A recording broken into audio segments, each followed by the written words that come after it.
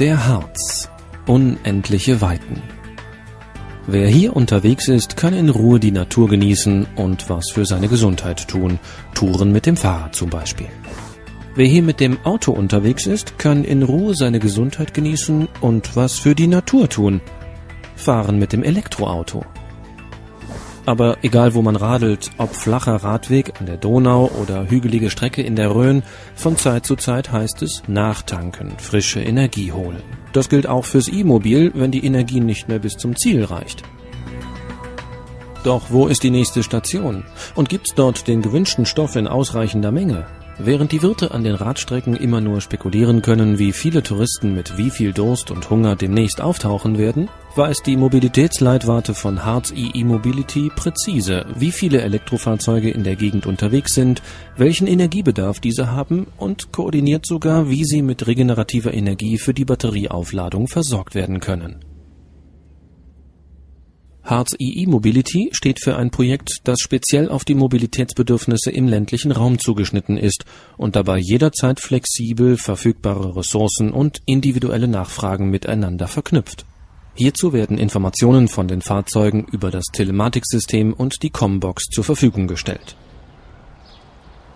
die Daten werden in der sogenannten Mobilitätsleitwarte ständig mit den prognostizierten Erzeugungsdaten der Energielieferanten abgeglichen, speziell von den zahlreichen PV und Windkraftanlagen in der Region, und je nach Stromverfügbarkeit werden aktualisierte Ladepläne an die intelligenten Ladestationen und Fahrzeuge verschickt. Aufgrund der geplanten Fahrstrecke sowie Höhenprofil wird ein entsprechender Energiebedarf ermittelt und mit Hilfe der zusätzlichen Information der Reichweite wird über Mobilitätsleitwarte ein Vorschlag für die nächste freie Ladestation ermittelt.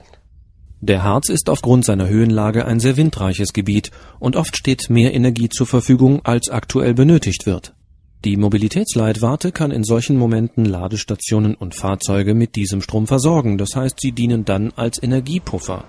Umgekehrt können sie Strom ins Netz zurückspeisen, wenn es Versorgungsengpässe geben sollte. Aber am besten ist es immer dann zu tanken, wenn viel Windstrom im Netz ist, das ist alle Male besser, als überschüssigen Windstrom in Pumpspeicherwerken zwischenzuspeichern. Dennoch, es ist die Entscheidung des Fahrers, ob das Laden der Fahrzeugbatterie vollautomatisch zum günstigsten Zeitpunkt und Tarif vorgenommen werden kann oder ob die Leitwarte nur optionale Vorschläge machen darf.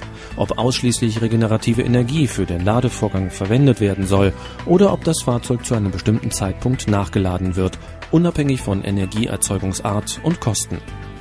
Das Projekt Harz e-Mobility kann also jederzeit vollautomatisch die Verteilung regenerativer Energien in Abhängigkeit von Angebot und Nachfrage optimal steuern.